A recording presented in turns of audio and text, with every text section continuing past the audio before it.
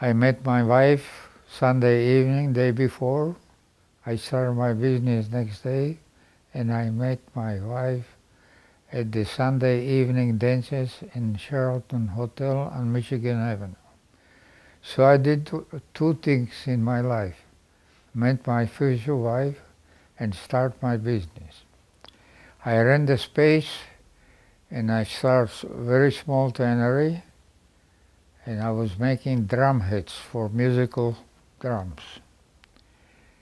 First lot I made, I went with the samples to the company who were making drums, Ludwig Drum Company.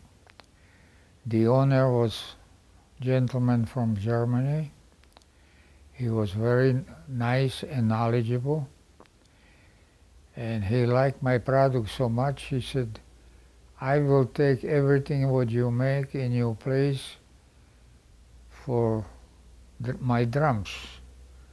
So I start to produce more and more until I came to the point he said, you are making too many, I cannot use them all.